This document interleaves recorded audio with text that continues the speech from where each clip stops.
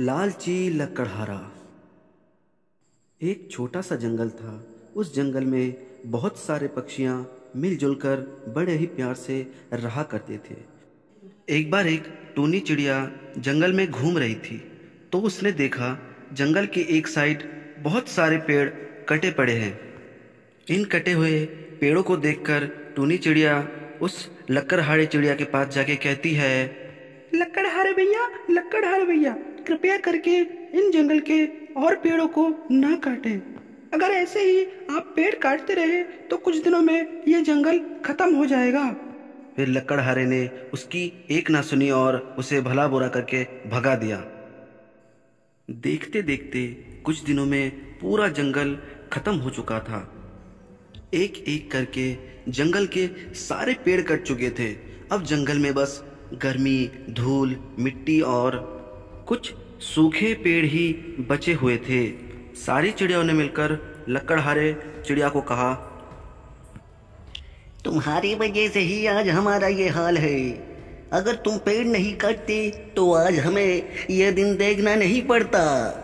लकड़हारा गलती मानते हुए कहता है मुझे नहीं पता था कि ऐसा हो जाएगा।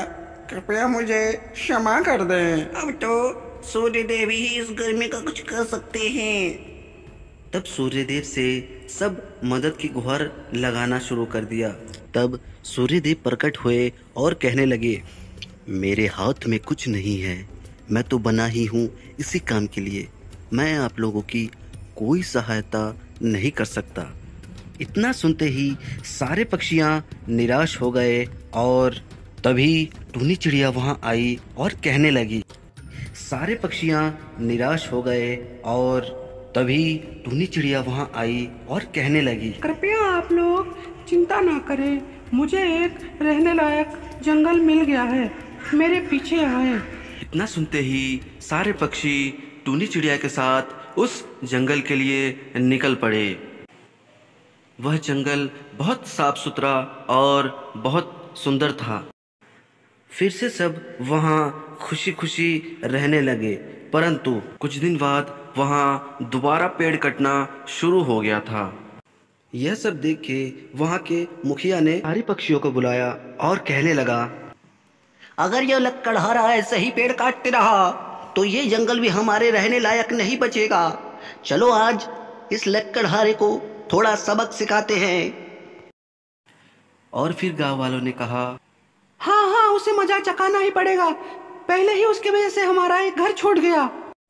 दूसरा बोला उसे मार के जंगल से भगा देंगे।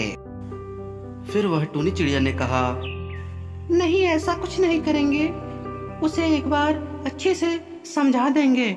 वह समझ जाएगा। उसके बाद सारे पक्षी निकल पड़े। लक्कड़हारे के पास पहुँचने के बाद गाँव वालों ने बोला तुम पागल हो गए हो क्या?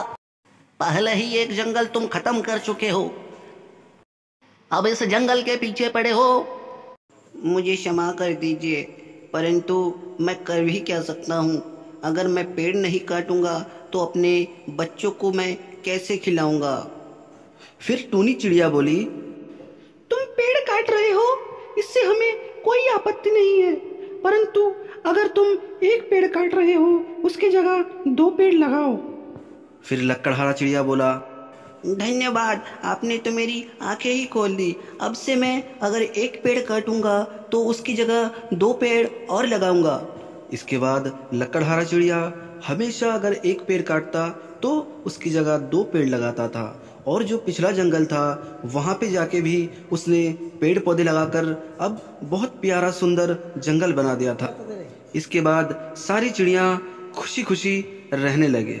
इस वीडियो से हमें यह शिक्षा मिलती है कि हमें पेड़ नहीं काटने चाहिए और अगर हम एक पेड़ काटते हैं तो उसके बदले दो पेड़ और लगाने चाहिए। अगर आपको यह वीडियो अच्छी लगी हो तो प्लीज़ ऐसे ही प्यार बनाए रखना और सब्सक्राइब करने के बाद बेल आइकन दबाना मत भूलना। धन्यवाद।